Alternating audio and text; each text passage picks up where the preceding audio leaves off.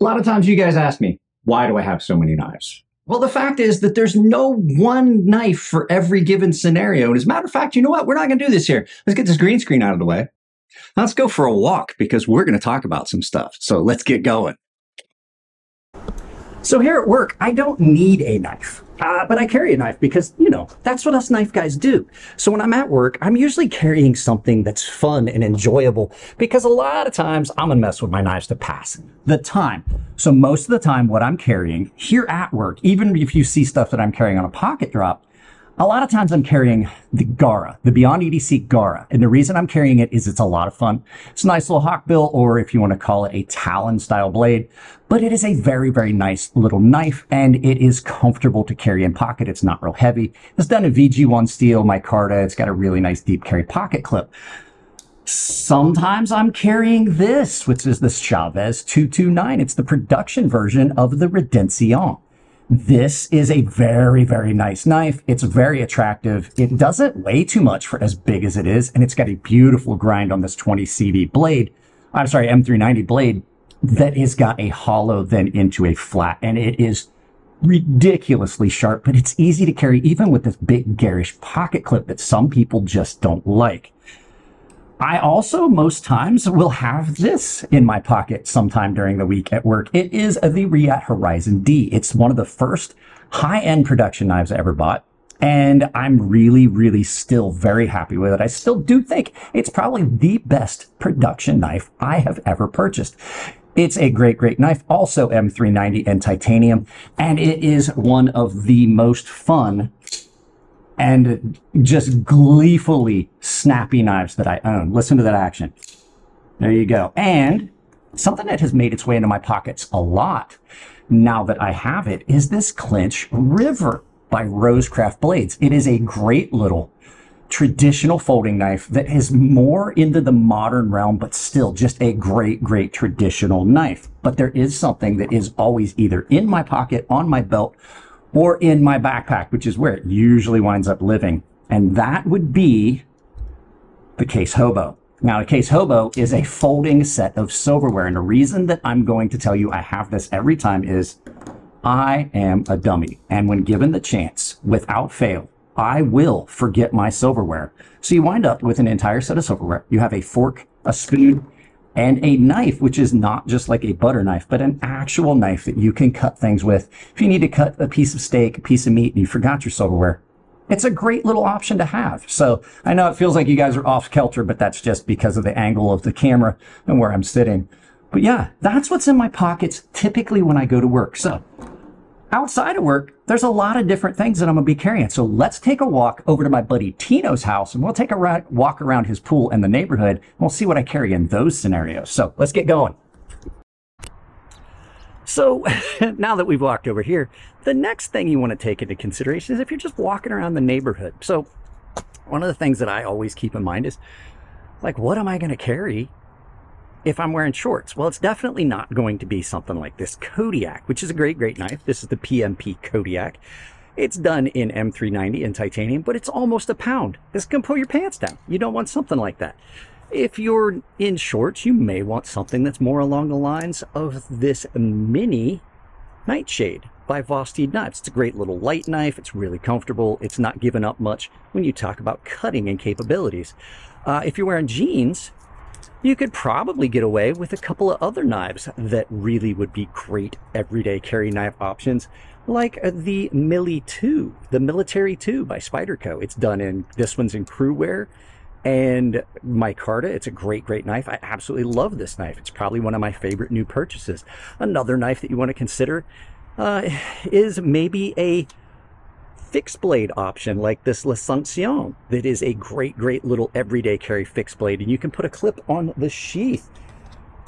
Or probably my knife of the year pick right here, the Amphibian by Microtech Knives. Great, great knives. All these knives are options. But the other thing you want to consider when you're out and about and you're just walking around your neighborhood is what is everyone else thinking? Whether it's legal for you to carry some of these knives, like fixed blade or these things, those might not be such a good idea. Is it going to be off putting to people? Is it really going to bother them? Is it going to be something that maybe they find a little over the top, it could be. And it might be something that, even like I said, even though it's legal, might not be something you're wanting to carry. So, just walking around the neighborhood, maybe not, maybe not carry a fixed blade the size of like a cold steel um, OSS or something like that. They have their place. But walking around a neighborhood in town, not so much, especially if you're downtown downtown in a city might be someplace where you don't really want to carry something as big and aggressive looking. That little one I showed you, probably a really good option, that Vosteed Nightshade. So let's go ahead and we're gonna walk over to my buddy Tino's house and see what I would carry around the pool. So if you're out hanging around a pool, if you're at the beach or something like that, one of the things that you want to think about is what kind of knife you're going to carry. Yeah, everybody needs a beach knife no different than a shower knife or a pool knife. Um, and there's a lot of thought that has to go into that so that you don't screw up. One of the things I like to recommend is something that does not have handles that are going to draw damp. Something like this. This is the Corgi Pup by Vosteed. It's done in 14C28N. It's not a steel that's really going to rust easily, and it's impregnable handles. Another thing you want to think about is what is the mechanism on the knife? Even though this is aluminum and M390 or 20 CV being an equivalent, you don't want that because it's all enclosed. You're going to get water inside it. It's going to be a problem. It could rust. There's little springs and things like that. You don't want a complex mechanism getting wet at the beach, especially something like this. You can get sand in it. Another knife that would be a really good choice would be this mica by CJRB. It's done in aluminum. It's a button lock, so it's easy to clean. And it's an ARRPM 9 steel, which is a very good steel for something like this because it doesn't rust really easy. It's high chromium content, low carbon. Things you don't want are micarta handles. They're going to get wet. They're going to stay wet. Could cause your pocket clip screws to rust, things like that. Your pocket clip may rust because those are typically in a different steel than the blade. And another thing, no uh, machine steels. You don't want like machine tool steels. You don't want tool steels. Tool steels are going to rust. They're usually high carbon. They're lower on the spectrum when it comes to rust resistance and things like that. And so those are the things that I would say you want to take with you if you're going to the beach. Now, we're going to have you guys go ahead and uh, swim on to the next segment.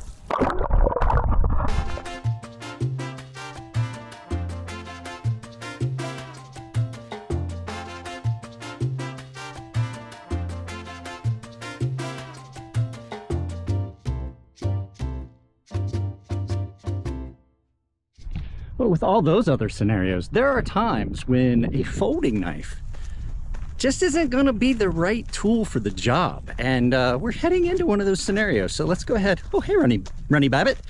Little bunny rabbit up there. So uh, we're currently climbing up the side of uh, Mount San Miguel at uh, 6 a.m. in the morning. We're going to get some beautiful shots and we're going to talk about some knives you may be carrying for camping, hiking, and the lot. Here we are. This is where I wanted to bring you guys because I wanted to talk about knives that aren't necessarily pocket knives and how they can be used and why it's important to know that you might want these. And we've got some heavy fog rolling in, so hopefully it doesn't obscure the view too much.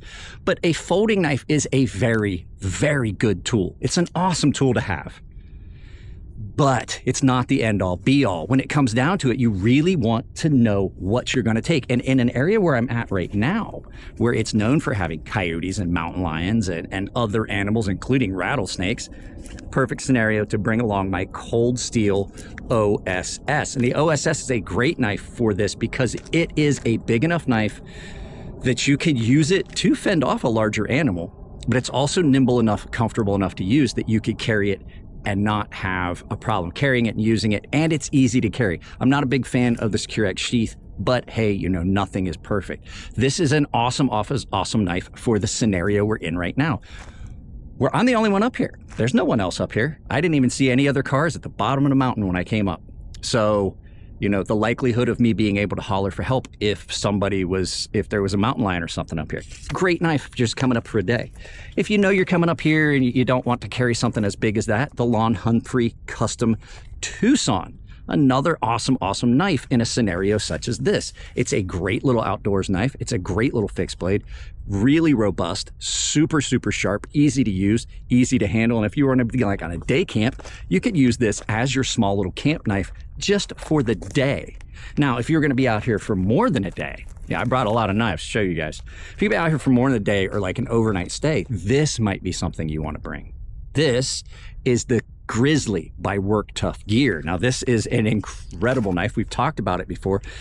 I actually brought this up here for a day of testing further up the mountain on the other side of the valley, and it performs incredibly good. You could use it as a hatchet. You could use it as a camp knife. You can use it for just about anything you're going to use in a campsite, and this would be something that you only need the one tool for your entire trip. So this is a great, great knife. And then there's another knife that is just an all-around badass in the realm of outdoor knives. It's further down in the bag, and that's the Buck 119 Special. A lot like the Lon Humphrey Custom. It's a knife that just does a lot of all around really good tasks. It's a great, great knife, really robust, comfortable in hand. You could do a lot of cutting without getting fatigued because it does have these big, thick handles on it where you can really wrap around it and not have to fatigue your muscles. Holds a really, really good edge. It's got a nice, comfortable sheath. So these are all knives that I recommend in scenarios like we're in right now, where we're on the side of a mountain. You might be by yourself. You might be all alone. I think that's all the knives I brought. We're going to stay up here for a little bit and see if we can't catch some good views. Hey, birds of downtown from a distance once this fog clears. So there's a lot of work for three minutes of content, guys. I'll see you as we walk into the next segment. Hey guys, Future Mike here. Uh, I'm going to apologize. We did not get any beautiful views. Uh, I was at about 1,100 feet uh, when I filmed that, and uh, it stayed foggy for, I was up there for a good hour and a half, two hours, trying to get like uh, some time lapse and see if I get videos. I'll go up a different time and we'll do that because we've got the new camera now. So back to the video. and we've made it back to the house. It's been a fun day. Well, for you, a fun day. For me, a fun several days. But I have to say, I do still carry knives here at the house. Even when I'm relaxing in the backyard on a beautiful day like this. Just, guys, look at this. I'm going to get a shot of this for you so you guys can see what I'm looking at. It is absolutely gorgeous to just sit here. But I still do carry knives. And when I'm here at the house, there's a lot of times that uh, I'm just I'm in the studio, either goofing off because that's where my PlayStation 5 is, that's where my TV is, that's where all the stuff that I do for recreation pretty much is, and that's where I'm filming, so I'm probably gonna be in there. But just because I'm filming a specific knife doesn't necessarily mean that that knife is in my pocket. There's a lot of times that this finds its way in my pocket. This is the Yan Knives EMW, and the reason I carry it when I'm out here and doing stuff like that is I've already reviewed the knife. I don't I don't have to carry it. I enjoy carrying it.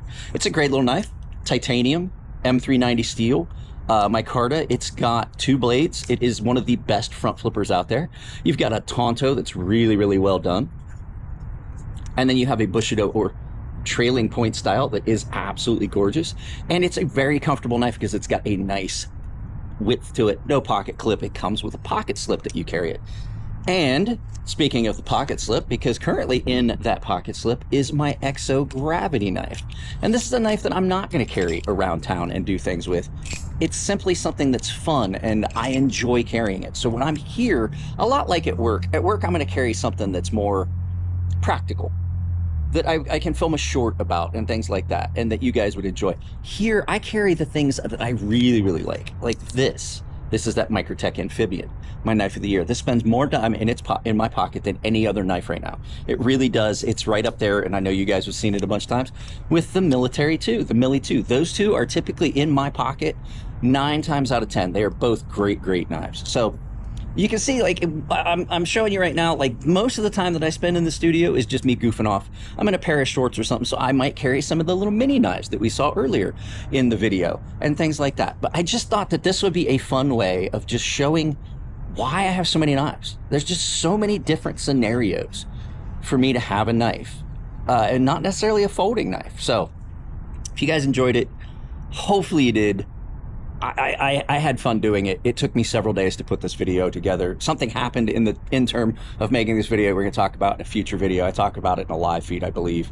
I did. I did. I already did that live feed. I was really upset and really tired, and I was in the hospital yesterday. So we're gonna we're just gonna take today and rest. But if you guys like the videos, please drop a like, share, subscribe. Down below, there's a bunch of affiliate links, even affiliate link for this new camera. I'm gonna do a video about this camera because it really is incredible, and it's gonna do a lot of heavy lifting coming for moving forward on the channel. Um, and we're gonna do a lot of stuff like this if I can, um, as, as much as I can, travel things, things like that. I am gonna take you guys to another place in San Diego that is the oldest brick and mortar knife store in California. So, uh, yeah, guys, you know what to do. Check out the links down below. Think about joining a membership. Now that I'm unemployed, it would be great. I'm only laid off right now temporarily. We'll see what happens. Um, and uh, yeah, with all of that, guys, I love you all. Take it easy, and I'll see you in the next video. Let's get out of here.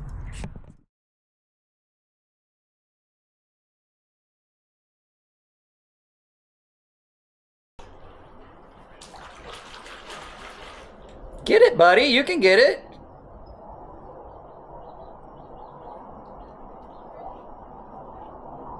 Chuck, go get it. Go get it.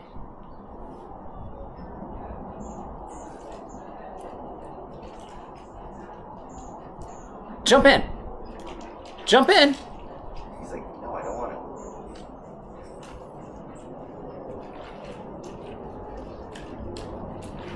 I think he got too much water last time he did that, so I think he's like, I don't want to get a mouthful of water again. You're such a goofball. Just jump in, Chunk.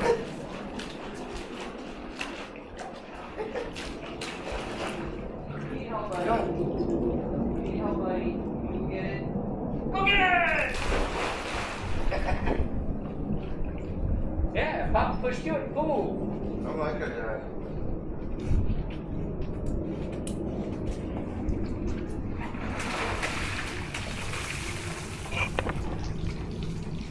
Shake off, come on.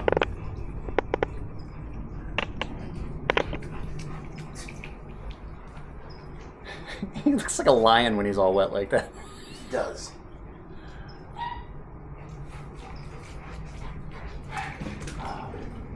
Yeah, because I'm hot coffee right now. I'm like, yes, it's actually quite cold. It's very brisk.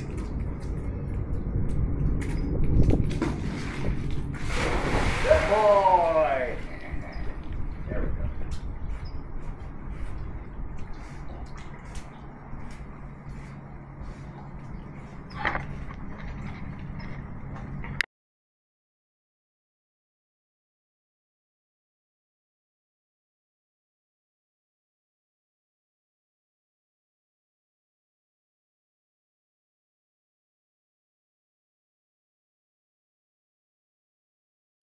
Chunk, you making friends with the little ones?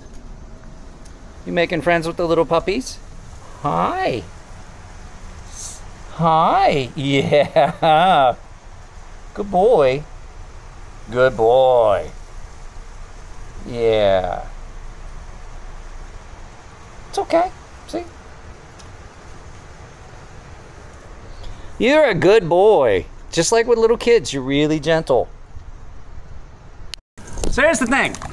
For a pool knife, everybody needs a pool knife. And a pool knife, the thought process that goes into a pool knife has to be about the same as what goes into a shower knife.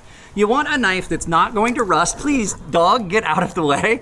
You want a knife that's not going to rust. So there's some option you've got. If you're looking for a folding knife, you can go with something like this. Uh, it's going to have materials in the handle that are not going to uh, allow it to stay damp. You're not going to have to worry about like something that's going to draw moisture and hold more. Why the fuck?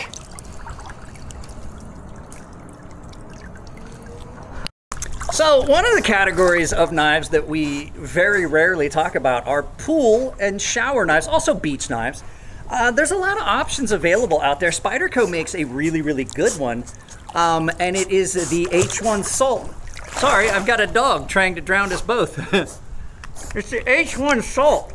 Now, it's meant as a diving knife, so you could carry this if you're going diving, if you're going swimming. It's gonna work. It's not gonna rust as much. Uh, they've they've had this line of knives around for a while, and uh, they've been really popular. Another knife, another option. it's hard to do this in a pool.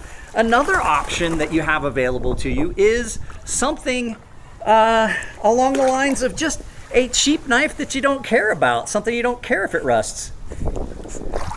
Like this one. This is a, what is this, Viper Tech? It's a VTech. It's a VTech. It's a, it's OS 6 steel.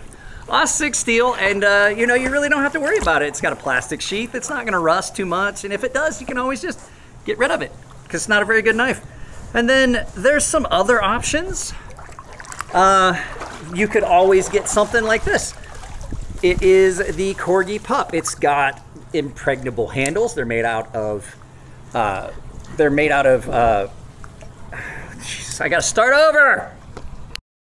So one of the things that doesn't get looked at is what knife are you gonna carry in the pool or at the beach? Or in the shower. A shower knife, that's an important thought process. Like, what are you looking for in a shower knife? Well, all of those categories pretty much fall into the same realm. So you're looking for something that isn't going to be something that's got a complex mechanism. You don't want a switchblade or something like that. Probably you're wanting to go with something like this. Just a cheap knife that you really don't care about. It's got a plastic sheath. You don't have to worry about its Zytel handles. Uh, it's, it's probably not gonna rust, and if it does rust, you're not gonna really worry about it. It's not that big of a deal. Uh, other option that you've got available is something that Spyderco makes from their Salt series. It's this H1 Salt diving knife. And so you've got a diving knife. It's meant for diving. My dog is currently drinking a bunch of pool water. And so it's not gonna rust. It's got impregnable handles and it's something that's meant for the purpose of what you're looking for. So this is an option. There's other options out there. Sometimes you don't have to break the bank or get something specific. You don't need a specific dive knife. Uh, really, my dog's getting ready to jump in the pool here. Um, you don't need a specific dive knife. You know what I mean? You've, you've got other options. Now, there is one knife.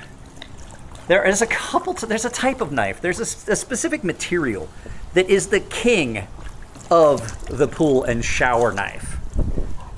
And that is the SM100 Stinger. And I say that because this knife can't rust because it's not made out of steel. We've talked about SM100 on the channel a bunch of times. This is a material that has no steel in it. So therefore, there's no there's no uh, ferrous materials in it. So it can't oxidize the same as other materials. It can't rust. So this is the perfect shower and pocket knife for taking in the pool and in the shower, especially if you have a big dog like this that's gonna. so there we go. Pool, beach, and shower knives. So why don't you guys swim along to the next segment? This is the best B-roll ever. Chunk, Chunk, are you are you are you saving the chair? Can I have it? Chunk, let go, let go. Chunk, let go. Let go. Drop it, drop it, drop it. Good boy. Thanks for saving the chair. You're tired, huh? That's a big swim.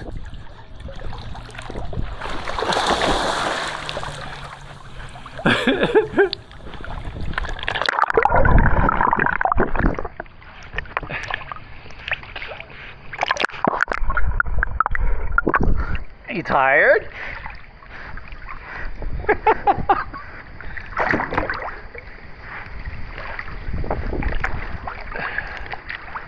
Good boy. Okay, I won't throw it anymore. Do you want me to pull it out? I'm afraid he's gonna wear himself out. Look how tired he is. Okay, stop. That's good. No, no, no. Chunky, it's not a toy, bud. It's not a toy. It's not a toy. You gotta put it back. You, you gotta leave it be. No. No. Good boy.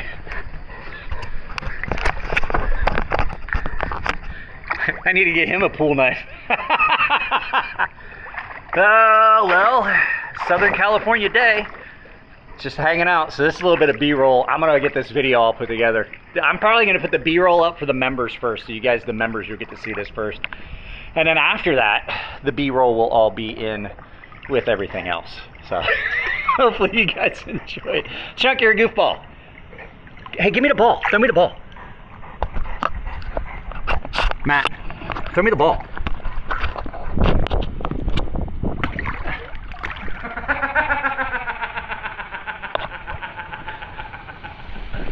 Hey, I did not ever play. I don't play cards. I played video games. I games. played golf, but the ball doesn't move. Golf's not a sport. Chunk. You want to get it? Go get the ball. Ooh, good boy. Good boy. so, guys, this is that new camera. We're doing a lot of cool stuff with it. So, it, it's uh.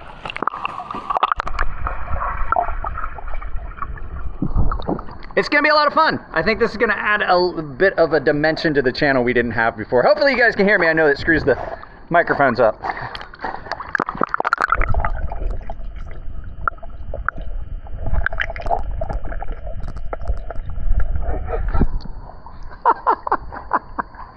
What a good boy. You gonna ride on that? Are you tired? No, leave it, Chunk. Leave it. Leave the chair be. Goodness gracious. Your little doggy's gonna swim some more? Alright, You wanna swim some more, little doggy? she goes, I don't know about that. Oh, Are you gonna swim some more? let me give you the full run. You didn't like the water so much? So just flip You don't know? You're not like Chunk. Chunk likes the water. and then you come Well, she's not running away from the pool. No. you can do a shot. Chunk's like, I'll teach you. I'll teach you. There's all these different things you can do. Good girl, bye bye.